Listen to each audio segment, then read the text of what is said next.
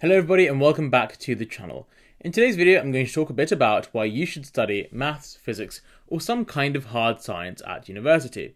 Since a lot of you at the moment are writing your personal statement drafts or thinking about applying to university or even in year 10 or year 11 trying to work out what you want to do, hopefully this video will give you a few reasons to motivate yourselves and get through to start studying at university. Before I continue, today's video was sponsored by the Oxbridge Formula an Oxbridge admissions guide for any student interested in applying for the hard sciences at Oxford or Cambridge. Written by Oxbridge graduates, this book is a step by step guide for how you can best prepare when you're applying for subjects such as maths, physics, computer science, or any hard science at university, particularly Oxford and Cambridge. This book provides a logical approach to each part of the application process for the hard sciences, making your goal of studying a science at Oxford or Cambridge more realistic. This book even has some pretty useful student insights to give you a better understanding of what someone going through the process felt like when they're writing their personal statements or doing their admissions tests. And I really like the section on admissions tests, which have become even more important since the A level reforms a few years ago. My admissions test for medicine, the biomedical admissions test, the BMAT,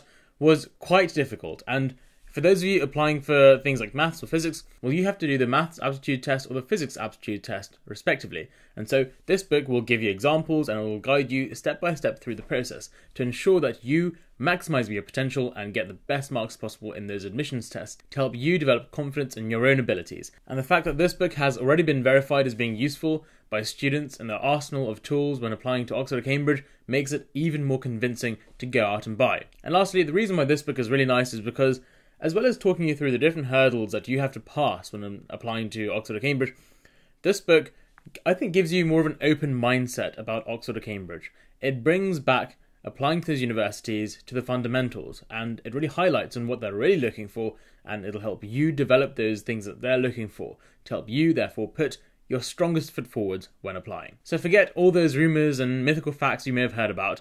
This book makes it a matter of simply preparing for all parts of the application very well. All in all, I'd say a very good all round application tool that I think you should get. Go and check out the description down below for the Amazon link. Go and read the reviews for yourself, and I think this will be fantastically useful for all of you. So, studying hard subjects such as maths, physics, biology, uh, or chemistry, computer science university, what really is the point? For a lot of you who are studying these subjects at A level at the moment, it is quite difficult. It is quite a challenge, and you might be finding one subject easier than others, or you might be enjoying all of them and finding them all easy. But that said, let's actually look at why you should actually follow on and carry these subjects to a university level. There are many benefits of doing this, and it isn't simply to do with the facts that you'll have a degree in these subjects at the end of the day. More importantly, it's the transferable skills you'll gain from doing such a hard science at university that will be the most important. So, the first main reason as to why you should study a subject that is a hard science is simply you will learn fundamental skills and fundamental knowledge. You will learn and understand fundamental scientific theories.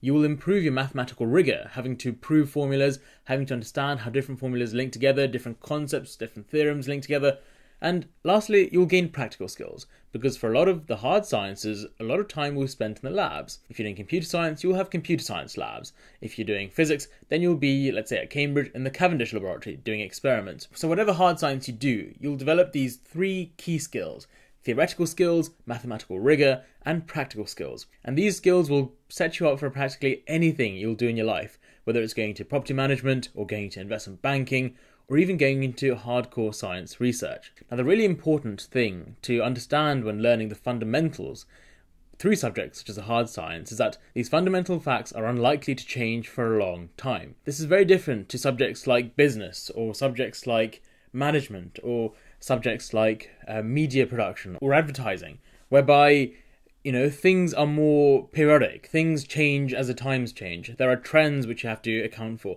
and maybe in 30 40 years time because what you've learnt is you've learnt sort of applied knowledge, your applied knowledge may no longer be relevant.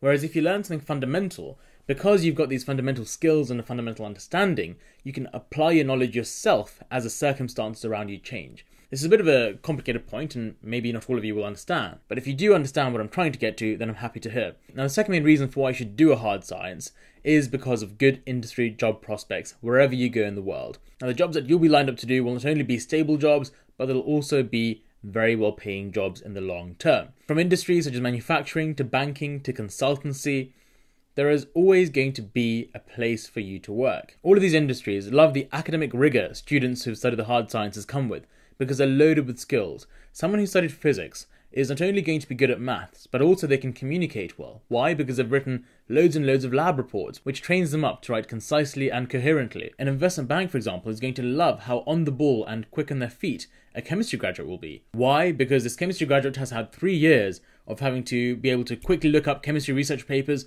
of having to quickly make decisions when a laboratory technique goes wrong. So, because the hard sciences, these degrees involve a variety of different tasks and many disciplines, these graduates are going to be highly skilled in different areas. The last key reason for why you should do a hard science is simply the variety of opportunities you'll get. Yes, you will get a job all the time, that was a second reason, but the third reason is looking at the variety of jobs. So let's put this into context to better visualize what I'm talking about. So let's say you've got someone who's starting mathematics at Cambridge, they're in their first year. This student, if they want, they can stay on, do three years of maths, do a master's in maths, and then even do a PhD in maths, and then go into mathematical research, and then eventually become a lecturer at the university, and eventually become a fellow at the university, getting involved in hardcore mathematics research, whilst also teaching the next generation of mathematicians. Equally so, this first year mathematics student can develop their skills in finance, can develop their skills in coding, and then go into a quantitative finance route, and then leave after three years or four years, and then go straight into a very well paying job where they're earning five figures and living a rather good life. The third scenario could be that this mathematics student enjoys mathematics but doesn't enjoy it sufficiently to you know warrant a mathematics research career or a finance career, but instead let's say they have an interest in biology, then they might go into, for example, bioinformatics and mathematical biology, where they then start working with biology researchers, and they might be working for the latest neuroscience or psychology models where they're trying to predict how human behavior works, or they might be developing artificial intelligence, or those sorts of technologies. So, do you see how a degree in mathematics can open up all these different routes? When I first thought of mathematics, I simply thought, well, you know, all you do is do math for three years and then I don't know, you do some accountancy or you do some, I don't know. I did, had literally no clue about what a mathematician would do after the degree. But only having gone to university did I come to appreciate how skilled they truly were and how many opportunities a degree such as that could bring. So just to summarize this video, let's go through the three reasons again. Firstly, doing hard science will give you fundamental skills that you will keep for the rest of your life, which will help you in many situations. Number two, you'll have pretty good job prospects, and most likely you will be able to secure jobs that are high paying rather easily. And reason three, you've got a wide range of opportunities. Doing a degree such as hard sciences will ensure that whatever you're interested in is something you can follow. Because science has come to a point where there's so much collaboration between the different fields that whatever is specifically interesting you, you can go down and you can really become a specialist in and can learn about the topic to new extents. So hopefully this discussion video was useful. If you did enjoy it, please do like the video, it really helps me out. And lastly, don't forget to subscribe, I've got loads of good videos coming out, uh, as you guys can see, and as you guys will see in the future. Once again, thank you so much to the publishers of the Oxford Formula for making this video possible. If you are applying for subjects such as maths, physics, engineering, computer science, then definitely check this book out. And even if you are still doubting me, just check out the price of this book. Given what it is, there's nothing you can lose. So get out there, go to the description, and check the link out. And last but not least, if you have any comments or if you have any questions, then please do use the box down below and ask me, and I will answer. And make sure to follow me on Instagram or Twitter. I'm a bit more active on there, so I'd love to hear from you also. As always, thank you so much for watching, and I'll see you guys soon in the next video. Bye bye.